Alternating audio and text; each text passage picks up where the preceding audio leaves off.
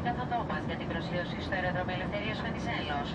Βεβαιωθείτε ότι η ζώνη ασφαλείας είναι σωστά δεμένη, η πλάτη του καθίσματός σας σε όρθια θέση, το ατομικό σας τραπεζάκι κλειστό και το σκιάδιο του παραθύρου σας ανοιχτό.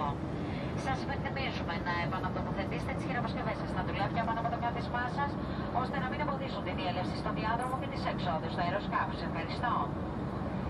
Ladies and gentlemen, we have started our descent towards Eleftherios Venizelos Airport. Your seat, fasten your seatbelt and secure your tray table. Bring your seat back to full and brake position and open your window shade. We remind you to restore all your hand luggage in the overhead storage compartments so as to avoid obstructing the air and the exits of the aircraft. Thank you.